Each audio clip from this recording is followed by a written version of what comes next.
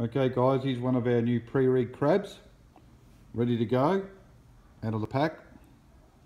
And I just wanted to do a short video on how I like to rig them. I go in there and out the side. So I grab the hook. It's hard because I'm trying to do this behind the camera. so I like to go in there and out there, out the side, bang, like that. Pretty easy. It's even easier when you're not trying to do it with the with the camera shot. I'll have to do the other side now. Grab the other stinger hook. So in that little piece of in there at the bottom.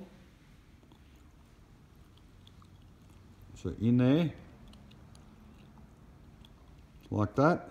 I'll just do it slowly and then out the side like that. And you've got a pretty, I'll turn it around, twist it, you've got a pretty deadly, deadly weapon and these claws will still float with those stingers attached.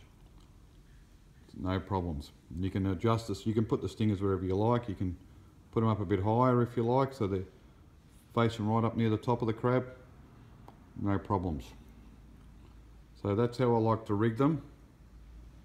The fish goes near there, she's all over. Those stingers will hang on like nothing else. That's the motor oil colour. And um, obviously when they when this is made out of um, Flexitech, these will float up. The whole crab will come to life when you put it in a bit of water. Cheers.